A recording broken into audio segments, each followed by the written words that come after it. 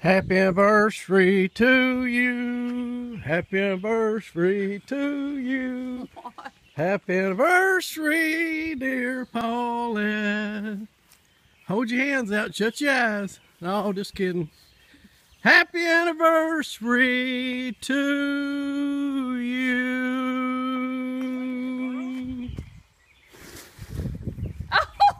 All right. Wow. What do you think? Great. Huh? That's exactly what I wanted. They asked me at Lowe's, I said to pick out the best one you got. I don't want one with any scratches. I'm getting my wife that for her anniversary present. and the, the little girl didn't say nothing. I said, I said, well, I need to go buy uh, the closest uh, big lot you got. I'm gonna get a real nice card.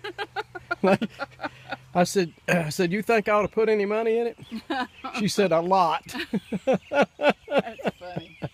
I called Johnny Tuttle. And I said, Johnny, he said, what are you doing? I said, I'm shopping for Paulette something for anniversary present. He said, what do you think about getting her? I said, a wheelbarrow. He said, I'd grease it up real good. he said, it'll be a lot easier on you when she show, tells you, shows you what to do with it. oh, I was just thinking. look at that load of mulch. Okay, but now, do you think I should tell them to wait till tomorrow? It's it's a little girl. Yeah, probably. What you think? Yeah. What do you think about your anniversary present? I love it. Best ever?